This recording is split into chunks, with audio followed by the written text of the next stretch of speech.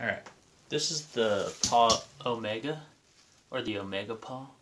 It's for a cat, and it's a litter box that it's kind of self-cleaning.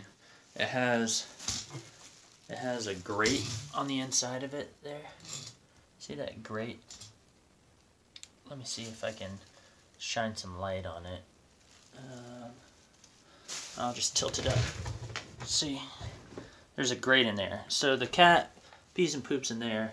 I hate doing cat uh, litter box cleaning. It is not my favorite. And right now I'm having to do it more and more uh, just because my lady is pregnant. Sorry about that. Um, and so it's a pain in the butt. I don't like it. But anyways, it, it has this like catchment thing here. It's just a drawer and what's really neat about it is it's so simple to use. You just put this in here, then grab your bag,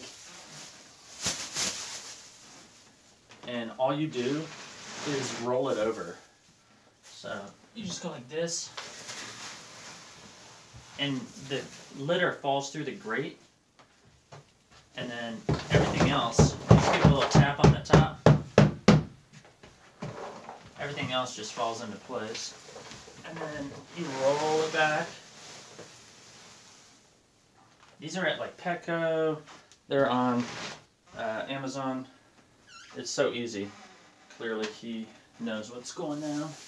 And then you get all this here in one one time. Like, why wouldn't you want to do it that quick? And it's done. Like, and that was a couple days worth. So, the Omega Paw is life saving for me because I hate doing it. But this is great. And it's like 25, 30 bucks. Tops. Check it out. And it's not a robot. So if you have something similar to this, leave a comment and let me know what you like to use. I like this thing. There's no batteries required. Don't need extra bags or anything. We just use our grocery bags. Thanks for tuning in. Peace out.